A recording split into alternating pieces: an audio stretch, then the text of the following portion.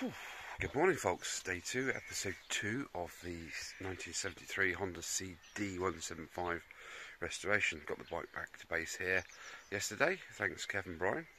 Um, right, where do I start? Uh, fuel tank. Uh, you've seen the pictures of the stuff that's come out of it. It's basically varnish, isn't it? From 46 uh, year old fuel that's been left in there. Probably a, fuel a full tank at some point. So that combined with the inner lining of the fuel tank, I guess it's shot. I'm going to try possibly electrolysis on it. I have some fluids I can pour into it to see if it leaks straight off the bat, but there's um, there's no way of really sorting out that petrol cock until I get fluids in it. Um, that's another matter. Right, the exhaust pipes. I need to keep the downpipes. That is a must. Um, so I have them here. What I'm going to do is cut off apparently you cut off just be, just behind the crimp there. You cut off and then you grind off all of this. And this pipe the new pipe then slides in into the new the new mufflers which I'm going to try and source them somewhere. I think David Silver spares here in the UK sell those so I'm going to going to look into that. So it's um, exhaust mufflers possible fuel tank and front wheel. Definitely need a front wheel. Uh, this one is absolutely cooked I'm going to salvage the hub if I can, but the rim's shot away. There's only about 12 spokes actually holding the, the hub onto the onto the wheel rim, so that needs to be to be uh, sourced.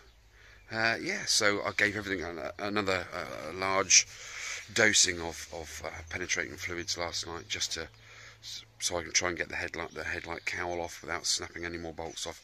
I think we snapped off three or four bolts yesterday, nothing serious. I've got tap and die sets and drills and everything, so that's not a bad thing. Um, well, this is basically my first classic uh, bike that I've ever had. Uh, my stepfather used to own one, so there's a lot of sentimental value in, in, in getting this thing up and running. Um, I'll put a picture of him on his blue uh, CD175 uh, on just after the, this start video uh, today, so you can have a look the image that's been in my mind for the last sort of 45 years. So this is this is more than a challenge for me. This is this is from the heart. This one. So anyway, uh, enough me uh, getting all blubbery. Um, right, can you guys help me out, please? If you look at the rest of my videos, uh, I've done one or two. Uh, I've restored a few bikes over the years. You can you can see the ones that I've done there.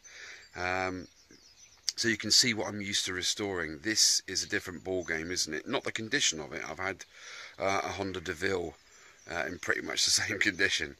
Um, but any hints and tips, anything you can offer advice-wise, you've seen the condition of the engine block and head. It's powdery aluminium, uh, so I need to do something to that.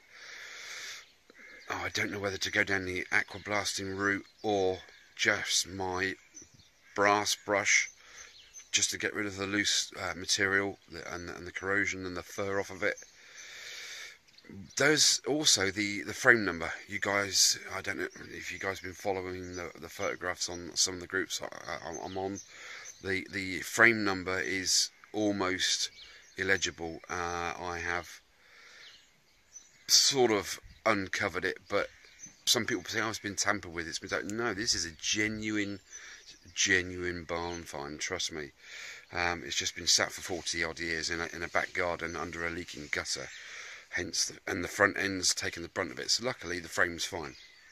Uh, right, waffling must stop and I must get on. Go and get yourselves a brew and uh, I'll see what I can do uh, in the meantime. I'm going to whip the carb off because it's completely frozen, the carburettor. The, even the choke lever won't go up and down. So that's going to go in the ultrasonic cleaner for, for an hour or so, see what happens there um, yeah, grab yourselves a brew and uh, make a bit of toast. And I'm going to crack on, and I'll catch you guys in a bit. Thanks again. Don't forget, drop me a line down below, and uh, with all your hints and tips. Please help, please. Take it easy.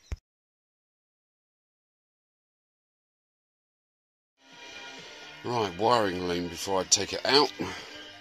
Starts off, um, what is it, left hand side of the headstock runs back down and through, picking up picking up the uh, the coil supply there. And then down and it passes through under here round to the right hand side of the bike and then comes down and under back up and through and it was under there round to the flasher unit there. So let's very gently come on just tease it tease it out there. What's that there? Not sure about that. Let's pull that off of there. Come on. Ah, that's it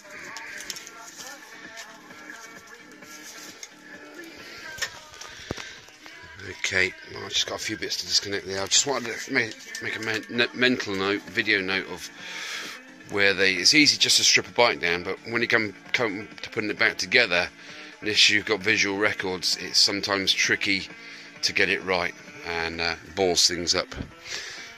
Ah, looks like the rectifier's under there.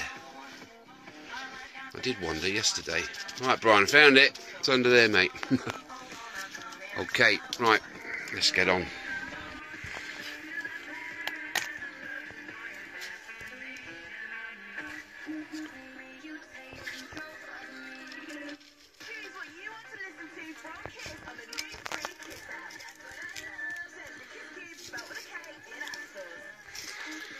Oh dear.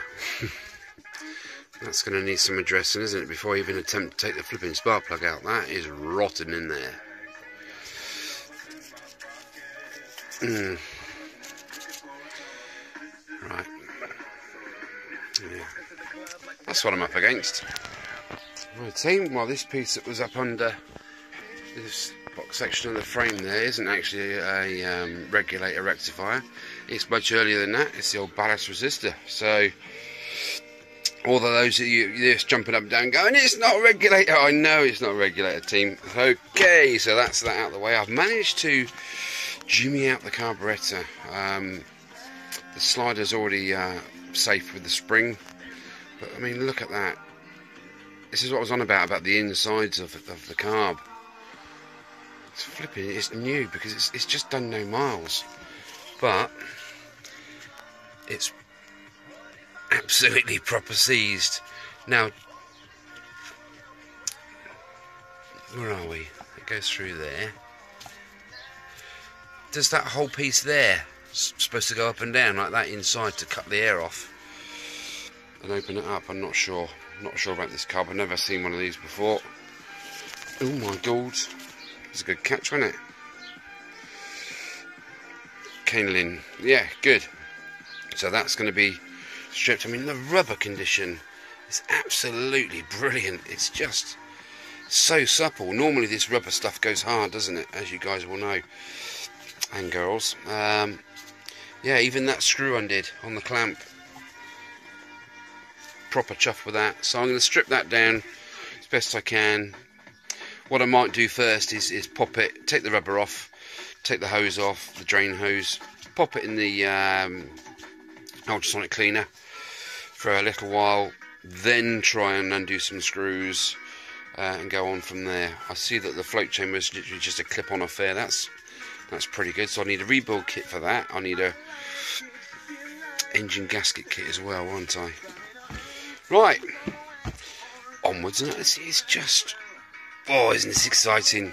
Right, better crack on. Right, here is the rear hub. This was all one lump. It's all seized. I put penetrating fluid around the sill and that underneath that lip all the way around there last night and I've just literally gently tapped it with my equalizer. I can't do this with one hand. Can you see that?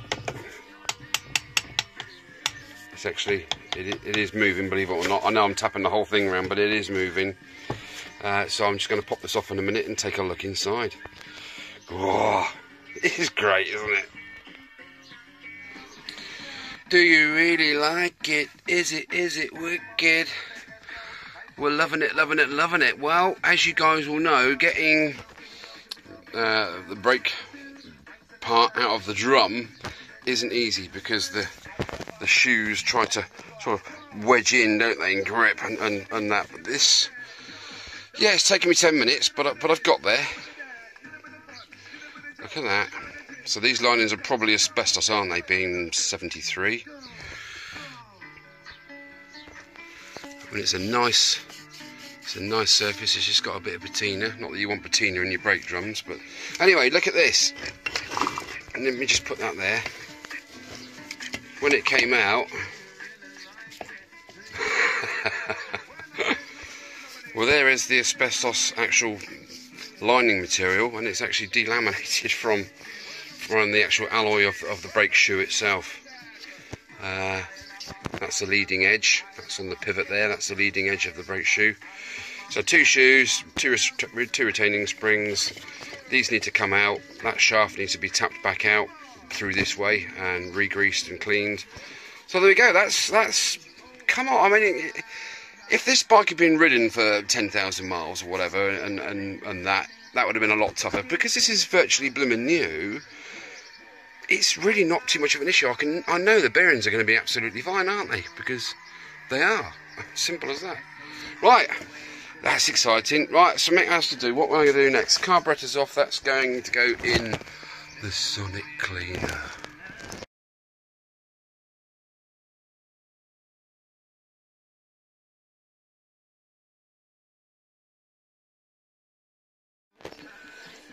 Where's the shoes out?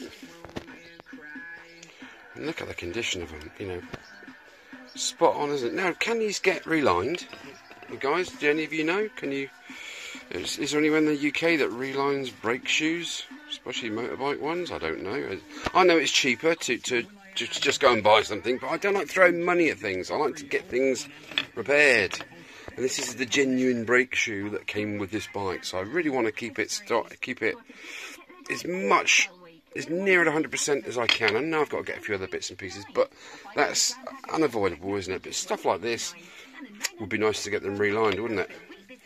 Okay, yeah, comment below, guys, please. Thanks very much. Use the old circlip pliers. Got the circlip off without much uh, hassle. These are quite tricky. You can appreciate, guys, can't you? When you get it off, you end up with a bit bent up at the end and all that. But no, that one came off uh, really good. So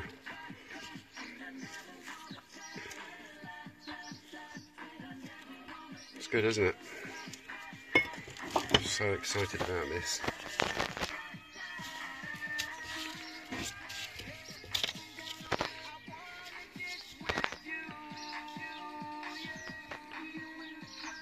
Some sort of wildlife in there.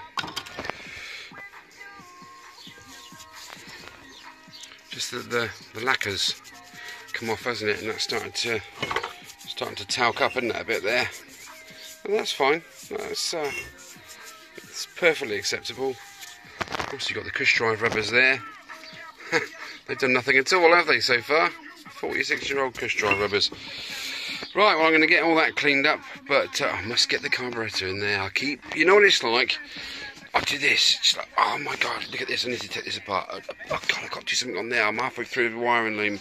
You, you get sidetracked. Oh, they're off, by the way. Uh, and, and, it's just flipping exciting. I can't tell you. Um, so I'm going into uh, Henry Cole mode there. I've got to tell you. Okay. Sorry, Henry. Uh, okay, so let's uh, waste no more time babbling and faffing around and get things blooming done easy. Crack on, son. Right, um, just doing. I've, I've got so many little bits and pieces dotted around now. I don't want to get snowed under with it, so what I'm doing is I'm adjusting every little tiny piece and then putting it in my basket of bits there uh, when done. Now, a bit of a tip for people that are just starting out uh, doing restorations and things when you come across really stubborn bolts, exhaust studs, stuff like that, when you go to undo it, always, always, always try and tighten it first, okay? And then try and loosen it. If that doesn't work after two or three attempts, don't despair, get a bit of heat on it. I use one of these things, they're quite cheap, but they're very, very handy.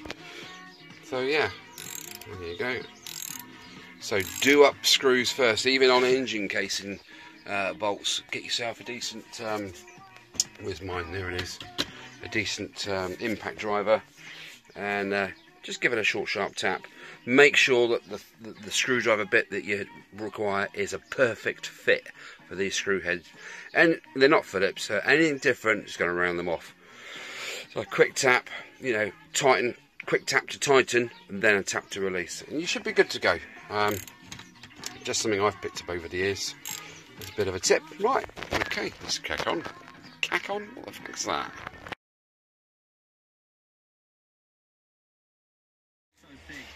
Right, I've got the ultrasonic cleaner uh, warming up. Just want it a bit, bit above freezing, really. Okay, I've got me, me soft equaliser on the on the float bowl. There, and gently tapped it on one side, and it's revealed this, which is obviously, you can imagine this has been set up for so many years. Uh, that all that fuel has just evaporated, uh, and that's not too bad. To be fair, I thought that was going to be a lot worse than that. Now I've not actually It's pretty gunky, isn't it? But I'm going to put it in the parts cleaner anyway. Um, you're all going to be jumping up and down, all you um, experienced professionals, and you're going to say there is no way you'll be able to reuse that carb because there is no way you're going to be able to adjust the idle screw. And you know what? I think you're right. That is proper. This stuff is these screws weld because it's still an aluminium. They weld as a chemical process goes on over the years. That is one, isn't it, guys? Um, I'm just going to see what happens with this. Uh, and see how far I get. It's horrible, isn't it? I want to keep this bike as original as possible, so I'm going to try and resurrect this. Don't hold out much luck, to be fair. Doesn't look like the floats have perished. The main jet there. What's that on there? 100? That's 100, isn't it? Right. I don't know anything about this carburetor. What is it? 20. What's that? 22 mil? Tell you what. Let's find out, shall we? You're all shouting at me. Yeah, it's a 22 mil carburetor. I'm new to this bike. I don't know anything about it. on. Let's get this in there. That in there like so. What is that? Oh, it's a 22 mil carb. That was a good guess, only because I've done a lot of reading up and I've I don't remember things generally because I'm a bloke. You know what blokes are like, don't you? You get told by the missus something and then it's just like, what was that? But 22 mil is stuck, so that's um, yeah the, the Getting 22 mil carb that's actually proper snotty, isn't it? Is there anything supposed to be in there? Oh my god, I hope not. Where would the slider screw be? Let's have a look in the top.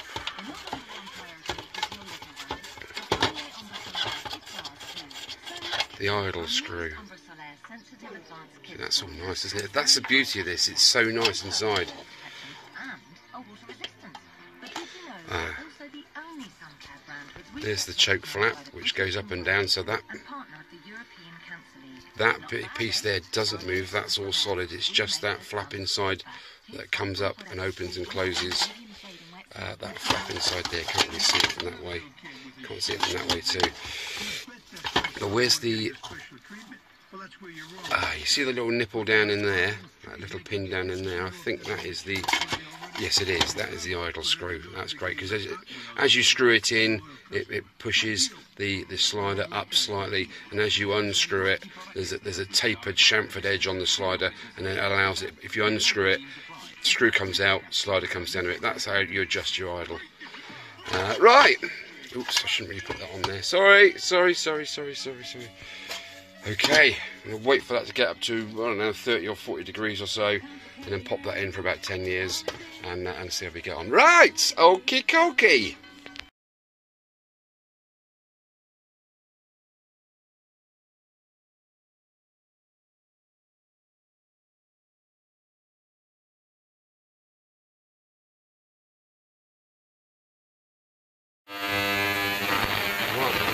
attempt here, these brackets. These ones look bad, but these ones look badder. oh dear, oh dear.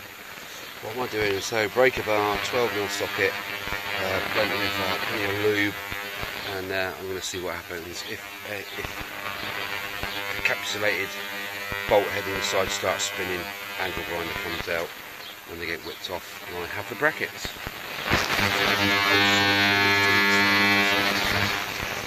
Right, let's see what happens.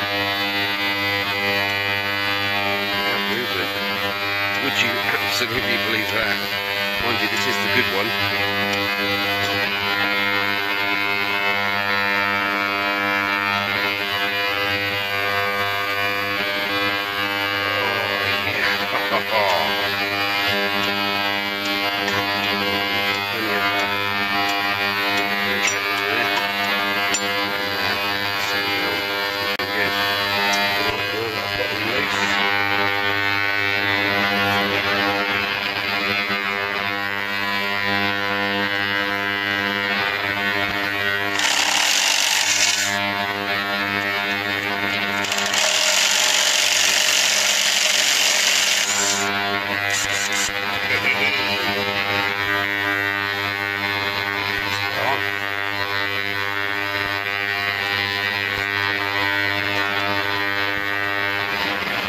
Yes, rescued one.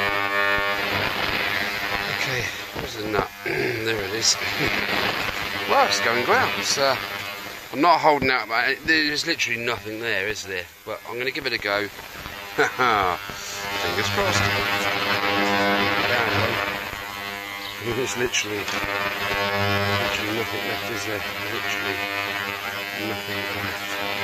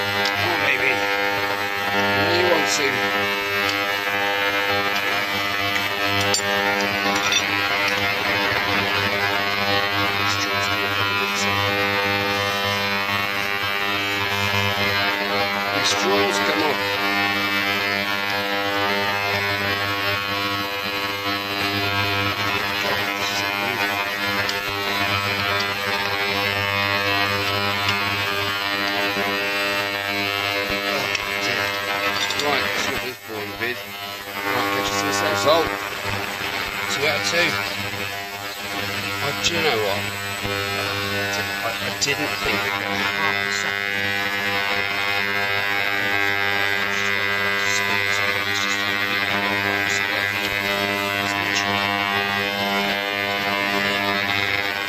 But uh, anyway, I can't be happy. So uh, onwards and upwards.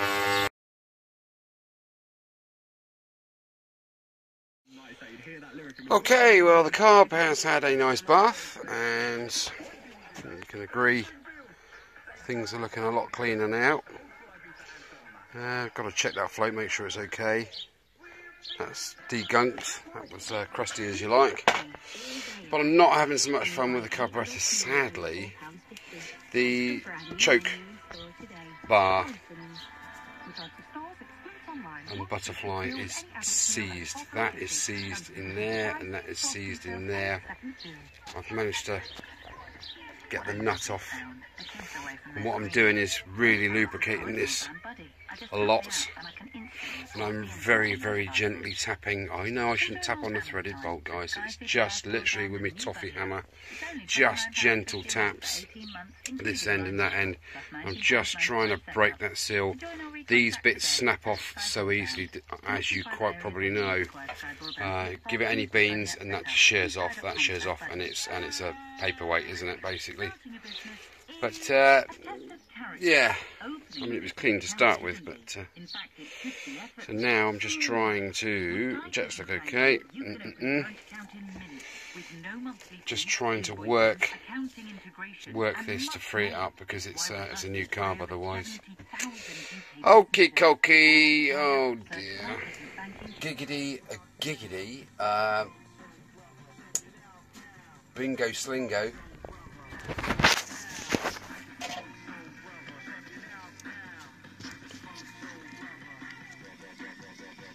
Ho ho ho ho!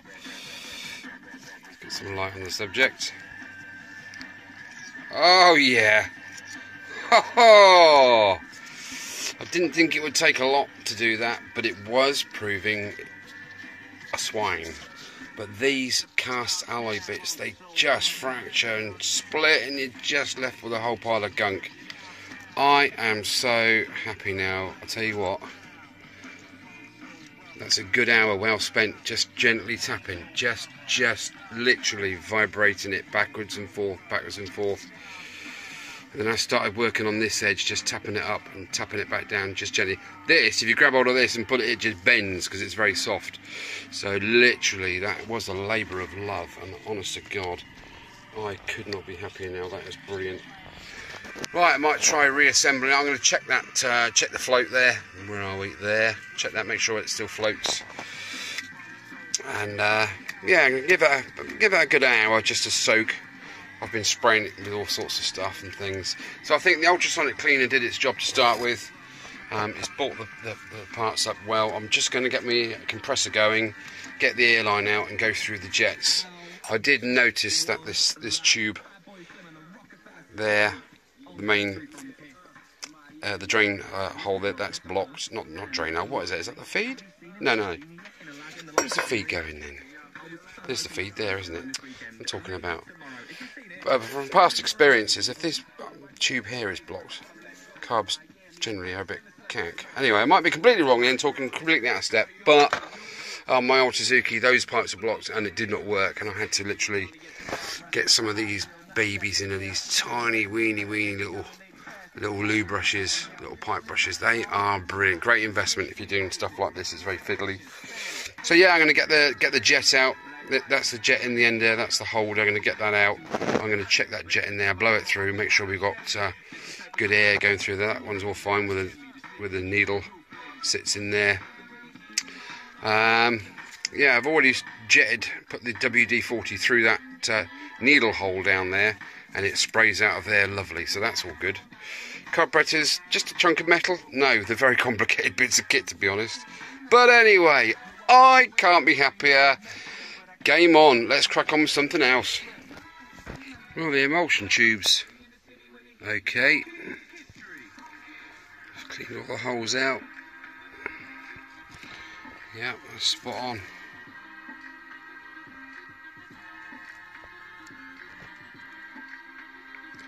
Oop, where are we? There we are. Yeah. Good. We've got four holes this side. Let's see them. There we go. Yes, all good. That's all good. So main jet's good. Right, I'm going to start reassembly and uh, see if we got flow of fuel for it. Superb! Right, well I had the main jet out, which is right in the middle there, and I've got that jet out. It came out. That one there. Beautiful. You know, after all these years of being sat in there, oops, can't believe that just came out like that.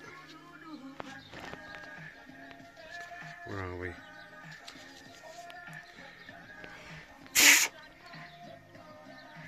Right, I need to put a pipe cleaner through there. Managed to get that out as well. That's your mixture screw. Okay. Now, you remember from earlier, this little blighter. That's the only thing I've got left to do now. I'll try and somehow hold the flipping camera. Let's see how close I can get into it. No, it's not focusing. Uh, right, okay. How am I going to do this? How am I going to do this? But I do do do return of the Mack. Let's do it like that. Very gently, gently clump that. Now I've got a piece of cloth there to stop the jaws of the vice marking the alloy. Right then, you little monkey.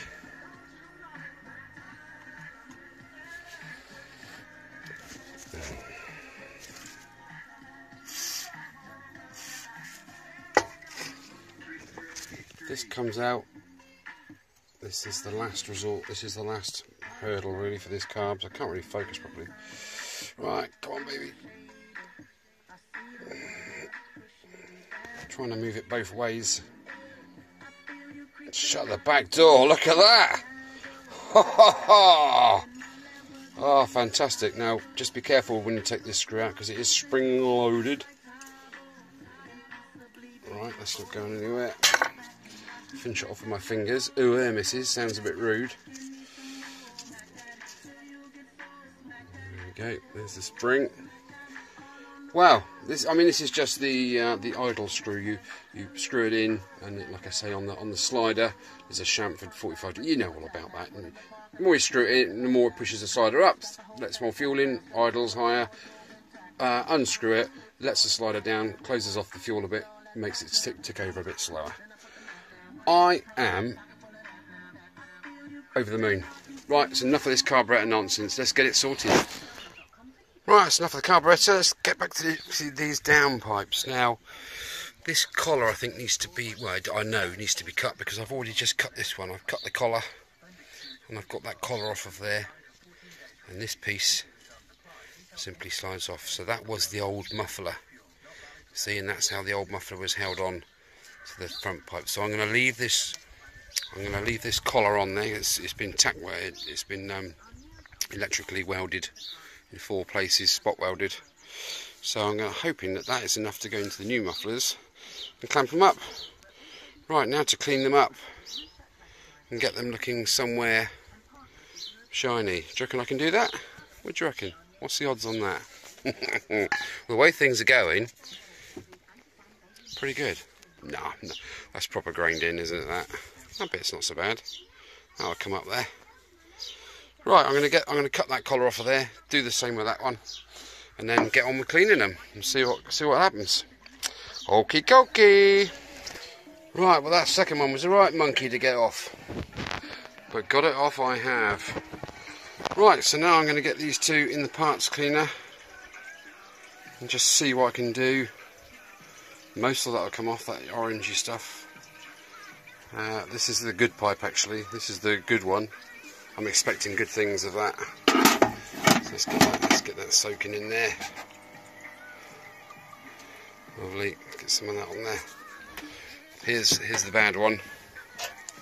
Now what I think has happened is, I reckon one of the valves were in the open position the inlet valve and the exhaust valve must have been on the what, what, would that have been on? It wouldn't would it? Because you got the, no. Anyway, so somehow this is this is fuel. I reckon. I reckon it's the carburetor. You know, is gave way and uh, let the fuel through down, and it's run down. And it's just so that stuff should treacly stuff should come off. But again, that's not very good, is it?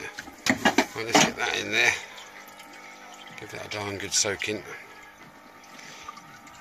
this mixture I've got in this parts cleaner is basically part clean parts cleaner fluid.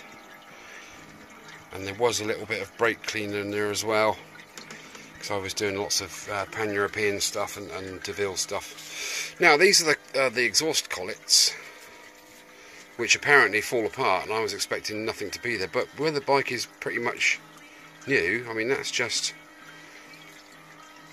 that, that paint varnish isn't it? So I'm expecting good things of these. That's number two. Same again. Let's give it a good douse. And uh, three and four. That's a bit rustified. So sort that out. And number four there. Look at that. Spot on. Anyway, when you're doing stuff like this with a parts cleaner on, on like chrome, use a brass brush because it doesn't score the metalwork underneath. Alright, so that nasty great big wire brush can come out of there. This is a plastic one, that's quite good as well for removing crud. And of course, the old favourite, the toothbrush. Right, I've got things to clean, so uh, yeah, let's see how they come out. It's a shame I can't video whilst I'm doing it, but uh, I'm going to have to sort out some sort of camera system. This is just on my phone, um, which is a pain. Oh, mind you, I've got a Ghost Drift X camera. I'll see what I can do, because it'd be nice for you to see you know, me actually doing something instead of just going, oh look, I fixed it. You know. right, anyway, onwards and upwards.